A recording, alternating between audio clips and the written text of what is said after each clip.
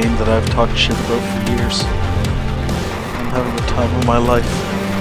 Just me and Magoo.